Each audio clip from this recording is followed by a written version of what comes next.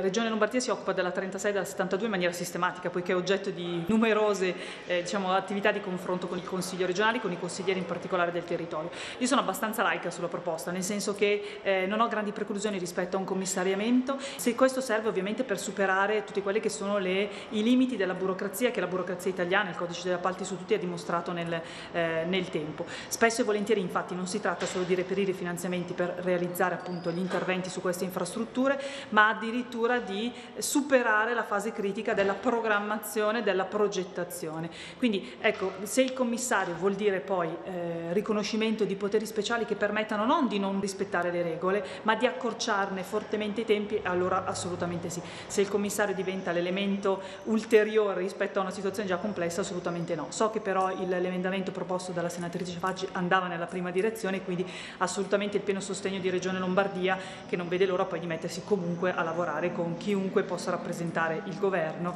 rispetto dei finanziamenti già erogati che vanno assolutamente spesi.